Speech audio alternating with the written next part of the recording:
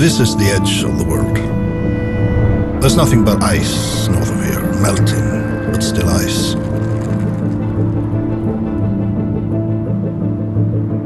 A million people live in the greatest city, Gothenburg, west coast of Sweden. The North Sea out there. A shipyard's town, a working man's town, an honest town. In the old days. Has come to Gothenburg.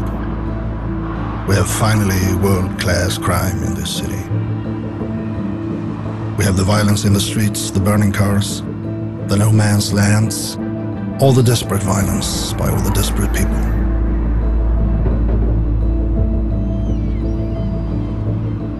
I write about the desperation. My name is Åke Edwardson.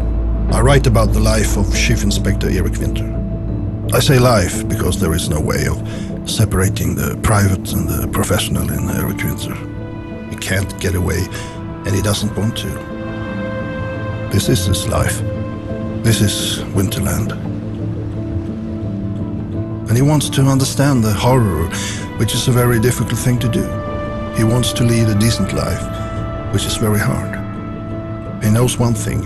If you want to live in the underworld, you have to become like the people there, because they can never become like you. I love and hate this city. The light and the darkness, the beauty and the beastly, the dangerous sea. Gothenburg is a character of its own in my novels. There is a new one out right now.